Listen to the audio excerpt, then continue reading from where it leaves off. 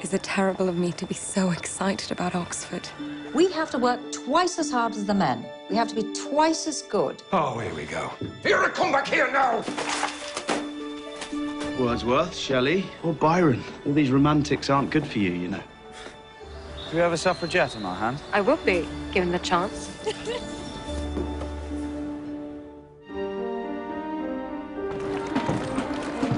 Be strong, be brave, be loyal to your homeland. Now we're a nation at war. All the papers are saying it'll be short and fast. Well, I can assure you it's never short and it's never fast. Edward, my little brother, suddenly so grown up. He's only 18. There are boys from the town who signed up already. How will it look if I'm not among them? He was born to make his mark in the world.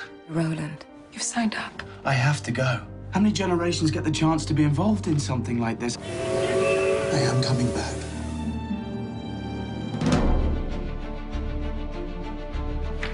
Can't stay here buried in books, not now.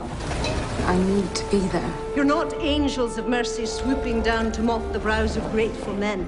Oh, especially those who've come down from an ivory tower. I shall never be afraid to confront the real. I want to know the truth. Highest news from the front. We share a memory that is worth all the rest of the world. This part of you. Don't destroy it. It might be gone already. We send our men to war because we think it's the right thing, the honorable thing. No more of it.